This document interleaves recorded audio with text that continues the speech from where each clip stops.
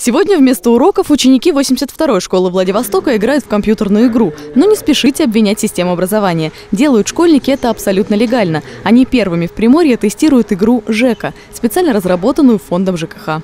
Сегодня у ребят будет 20 минут. То есть, казалось бы, это всего лишь 20 минут, но с другой стороны, 20 минут на то, чтобы привести квартиру в порядок, прожить несколько месяцев, а то и лет этой игровой жизни, это дорогого стоит.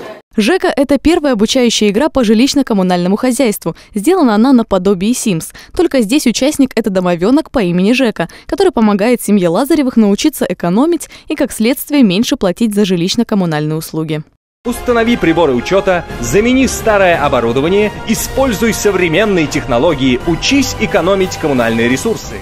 Эта игра подходит как детям, так и взрослым. Она максимально приближена к российской действительности. И все полученные в ней знания можно применить на практике. ЖЭКа состоит из трех уровней. На первом участник учится жить экономнее в собственной квартире, сокращать потребление электроэнергии, воды, газа и таким образом оптимизировать семейный бюджет. Замечаю тоже часто то, что родители забывают выключить, ну или я, допустим, свет там в ванной комнате.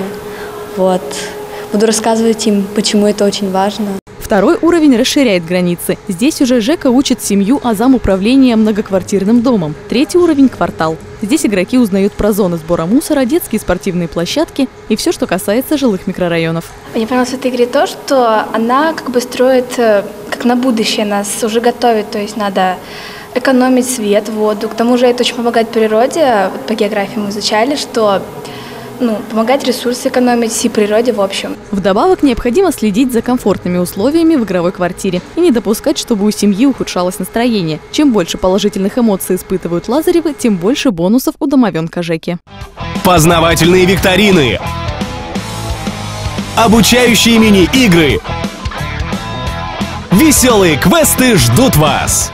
Каждый игровой месяц участнику приходит квиток за коммунальные услуги, где прописаны израсходованные и сэкономленные средства. Благодаря этому игрок учится планировать и просчитывать бюджет. Один из моментов игры – заменить все старое оборудование на новое энергосберегающее, с помощью которого можно будет сократить оплату жилищно-коммунальных услуг. Нажав на машину, система проинструктирует игрока, сколько техника потребляет киловатт и сколько в нее можно загрузить белья, а потом предложит сыграть в интересную игру. На сэкономленные деньги семья может реализовать свою мечту и купить себе приятные подарки – Игра считается пройденной, когда участнику удастся наладить комфортную атмосферу в квартире и сократить оплату коммунальных услуг на 50%. Понравилась. Очень интересная игра, познавательная. Экономика, экономика, вот затягивает, скорее всего, больше вот эти мини-игры. Тут очень много интересных фактов, и я много нового узнала именно, как сэкономить, э, то, что, чего я не знала раньше.